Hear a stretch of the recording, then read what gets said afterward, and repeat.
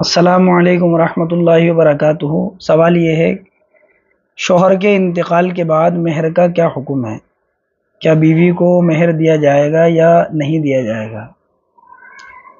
अगर शोहर का इंतकाल हो जाता है तो उस वक़्त के अंदर पहले तो ये कि कुछ बातें देखने में आती हैं।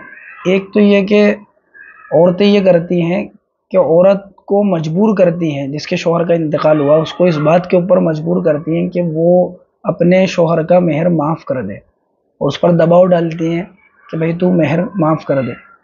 तो इस तरह मेहर माफ़ कराने से मेहर माफ़ नहीं होता है, बल्कि जैसे हक औरत का पहले था मेहर के ऊपर, इसी तरह उसका हक बाकी रहता है। तो इसलिए उस वक़्त दबाव डालना और औरत से ये कहना कि मेहर माफ़ कर दे, ये गलत बात है। दूसरी बात ये कि जब शोहर का इंतकाल हो गया तो अब हुक्म ये है कि अगर औरत का मेहर उसने अदा नहीं किया ज़िंदगी में तो जो माल शोहर छोड़कर मरा है, सबसे पहले उसके अंदर से जब विरासत तकसीम करेंगे तो विरासत की तकसीम में सबसे पहले उसको मेहर दिया जाएगा, औरत को जो भी उसका मेहर है। मेहर के अदा करने के बाद, क्योंकि मेहर एक तरह का कर्ज होता है ज़िम्मे के अंदर तो इसलिए मेहर अदा किया जाएगा।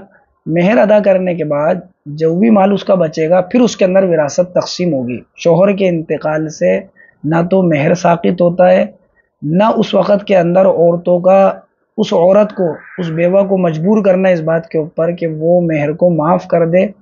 अगरचे वो कह भी दे अपनी ज़बान से, मैंने माफ़ कर दिया, फिर भी वो माफ़ नहीं होता है, बल्कि वो अदा ही करना पड़ेगा।